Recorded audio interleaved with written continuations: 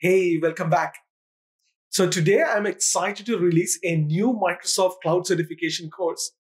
This time it is SC900, which is Security, Compliance, and Identity Fundamentals.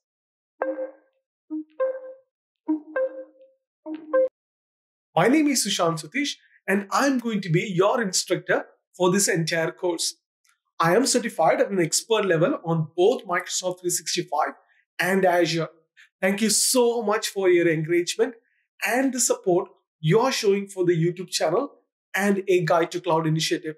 So let's find out who are the audience for this course. This course is targeted to those who are looking to familiarize themselves with the fundamentals of security, compliance, and identity across Microsoft cloud-based services. The audience or students of this course may include business stakeholders, IT professionals, or students who are interested in Microsoft security, compliance, and identity solutions. So let's look at the exam prerequisites. The students who are planning to appear for this exam should be familiar with Microsoft Azure and Microsoft 365 and want to understand how Microsoft security, compliance, and identity solutions can span across these areas to provide a holistic end-to-end solution.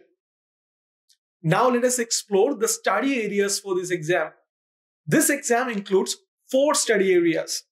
The first one, it's all around describing the concepts of security, compliance, and identity. This is where you will learn about shared security model, what is IaaS, PaaS, and SaaS, who manages what, things like that. The second module, it's all around describe the capabilities of Microsoft Identity and Access Management solutions. This is where you will dive deep into understanding Microsoft Azure Active Directory capabilities and features. The third topic is describe the capabilities of Microsoft security based solutions. So I will take you through all the Microsoft security solutions from both Microsoft 365 World and Azure. And the last study area is describing the capabilities of Microsoft compliance solutions. This include all the compliance features Microsoft can give you to safeguard your data. The percentage indicate the relative weight on each area in that examination. The higher the percentage, the more questions that you can expect on the examination.